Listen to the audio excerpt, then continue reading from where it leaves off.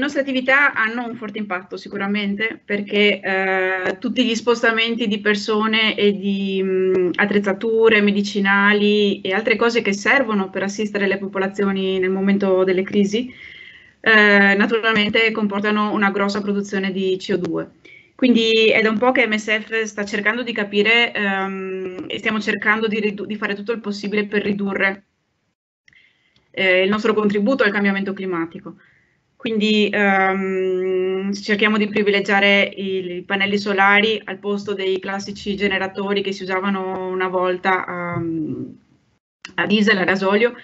e, perché nella maggior parte delle nostre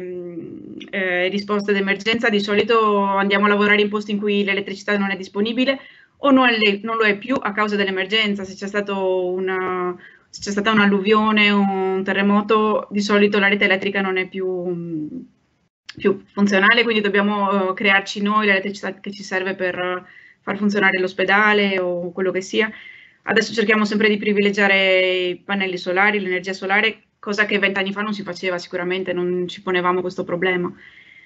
Eh, abbiamo cercato di riorganizzare anche il movimento di persone che devono intervenire nel momento dell'emergenza, quindi creando dei pool di esperti che si trovano già distribuiti in vari paesi e non come era prima, ehm, la maggior parte in Europa, adesso abbiamo mm,